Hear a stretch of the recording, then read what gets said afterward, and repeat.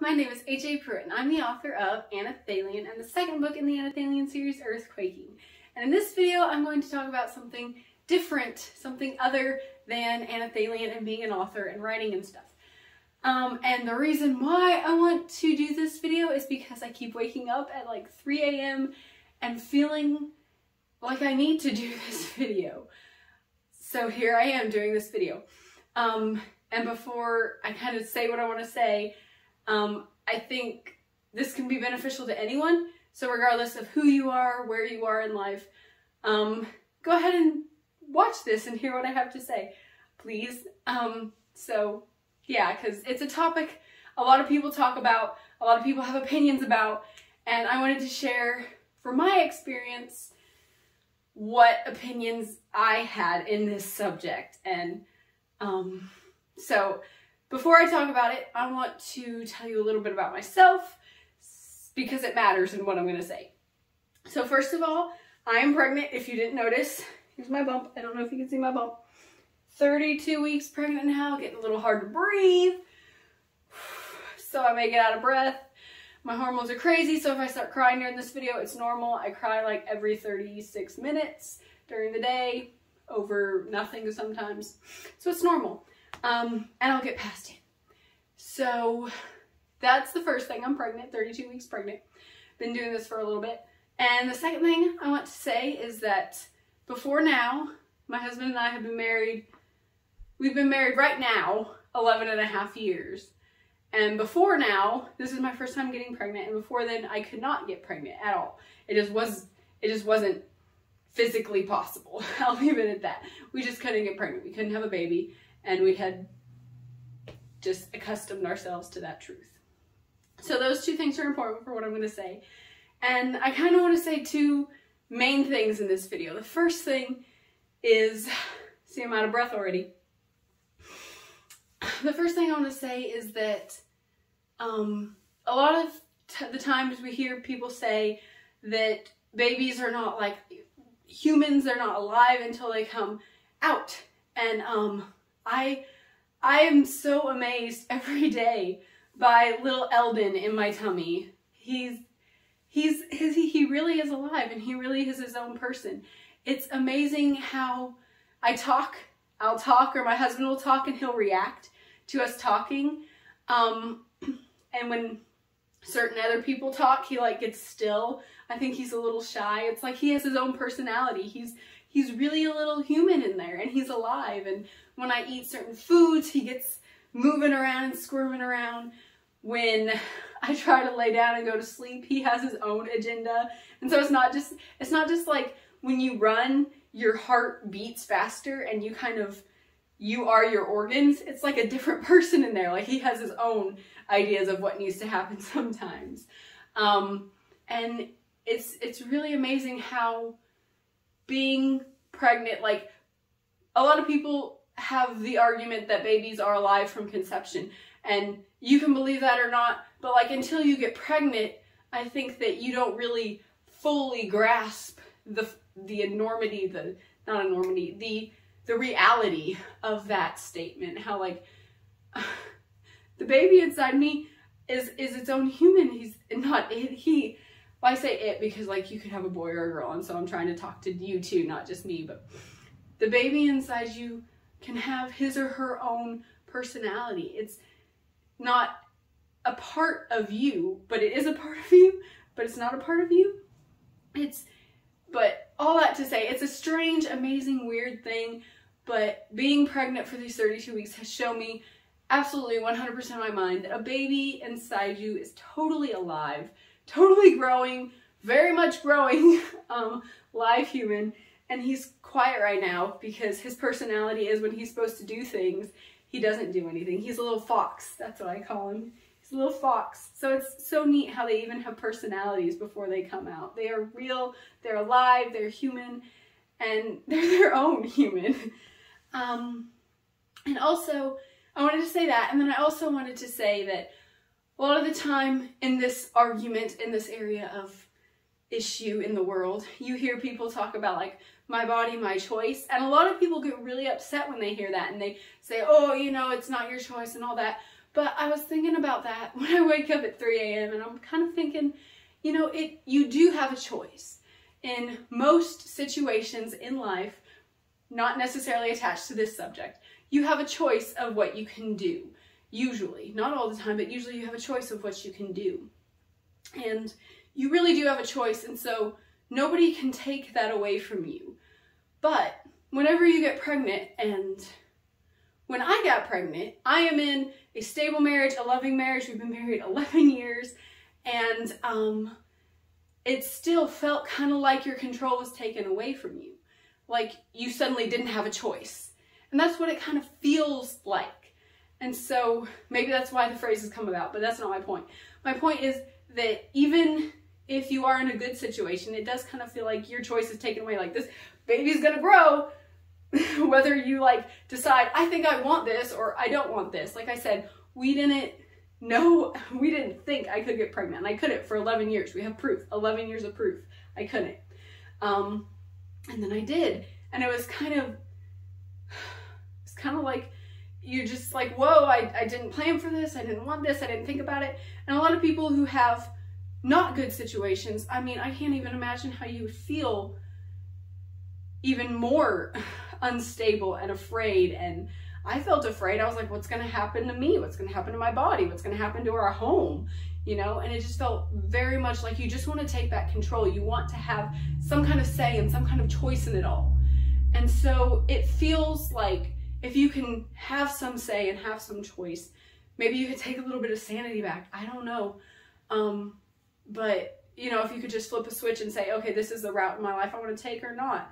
And that, that feels very comforting to be able to, in your life, in any situation, say, I have a choice and this is what I want to do and get to decide your own choice. And so, like I said, maybe that's why the phrase came around my body, my choice, because I am a person, I have another person in me, but I'm a person and I still want to make a choice. Um, and I want to, I want to talk about how often whenever we talk about that choice, we usually think of either terminate your pregnancy or keep it going.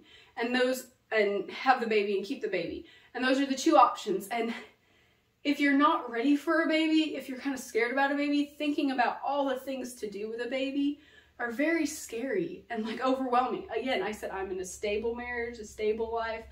Husband has a good job. I'm a writer, so I have a terrible job. Um, but we we are able to do the things we need to for the baby. But if you're not, I can see why it would be so overwhelming that you could just feel like you just can't handle it and you just want to have that choice to stop. Um, take a deep breath. And, and it does affect your body. Like I said, I can't breathe right now because there's someone inhabiting me. Um, and it just, it just affects everything. And so it's scary and it's hard and it would be very easy and understandable, honestly, to just say, I just want to flip a switch and say, I don't want to have that. But there's like a third choice. And I've been thinking about this a lot because of, I, because I wasn't able to get pregnant for so long. And then suddenly I was, it occurred to me that you have a third choice. There are so many people, so many people like me and my husband, and I can name like a bunch of other people we just know and have heard of that cannot have kids. They just can't. And I said a little bit ago, in most situations you have a choice. And in that situation you you don't have a choice. We couldn't couldn't have a kid and that was it. That we that we didn't have a choice. We didn't have this or this choice. We didn't have a choice to say yes I do or yes I don't. We we didn't have a choice. We just couldn't.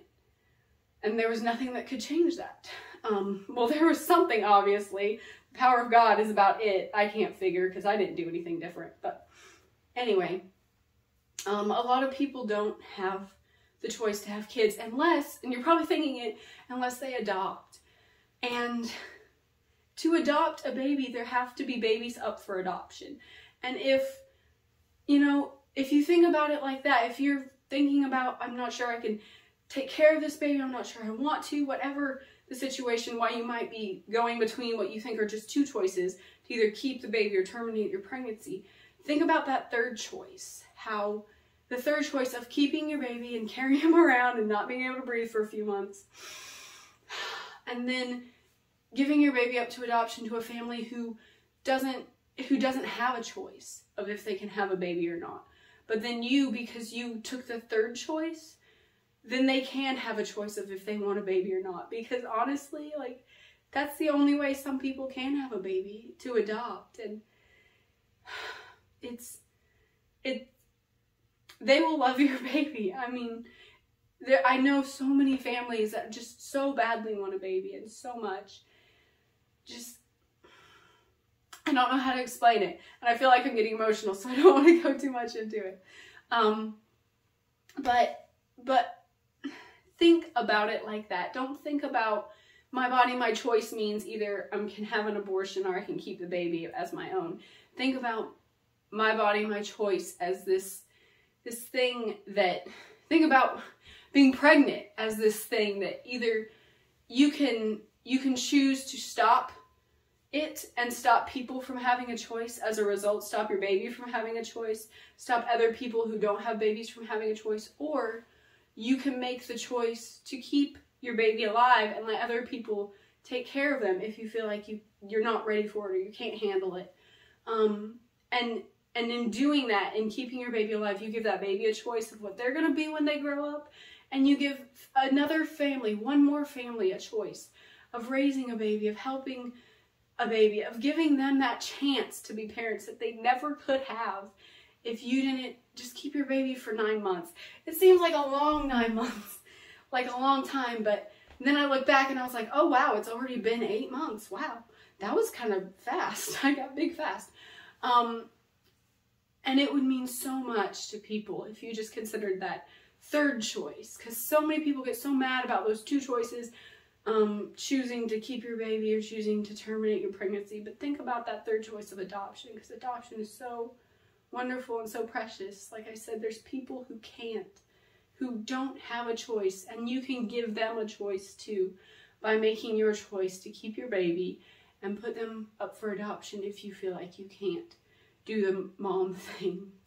Um, so, like I said, I made this video because I kept waking up at 3 a.m. and just the thoughts about the things you think about when you're pregnant. You know, you think about food and you think about how you can't breathe and you also think about how amazing this is and how you hear all these people get so mad about the topic of abortion and how, well, this is what I'm thinking, and how I just, I just want to tell people in such a kind way how I feel not like emotionally, but like physically, how I feel he's alive in there. He really is.